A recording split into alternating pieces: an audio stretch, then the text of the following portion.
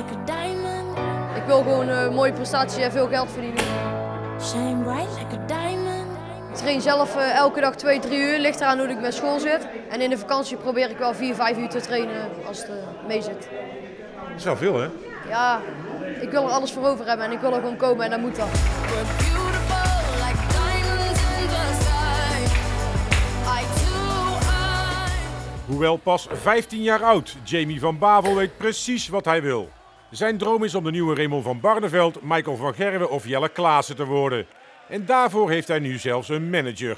Voortaan is het dan ook Jamie de Diamond van Bavel. Ik mocht een eh, shirt, een logo kiezen voor mijn eigen. Ik heb toen een eh, dia- diamant gekozen. Ja, dat leek mij mooi. Ja, en bij deze noemen ze mij nou de Diamond. ik vind het goed. Heb je dat zelf bedacht? Nee, ik, eh, ze zeiden dat, dat dat het beste leek. Ja, ik vond het goed. Wat wil jij nou bereiken in de darts? Ja, ik wil later op het WK komen en eh, ja, ja, dat is echt mijn droom. En zijn manager moet hem daarbij helpen. Nee, dat moest van niemand. Eh, ik praatte gewoon met iemand en toen eh, leek het mij en mijn pa een best een goed idee. Hij wilde dat zelf heel graag. En eh, ja, hun doen, eh, kennen hem toch beter begeleiden, omdat ik eigenlijk meer een, eh, een voetbalachtergrond heb.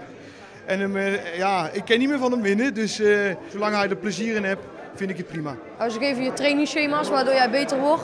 En als het niet goed gaat, ze geven jou veel vertrouwen, wat ik eh, best veel nodig heb. En eh, ze staan achter mij tijdens spannende wedstrijden en dat vind ik fijn.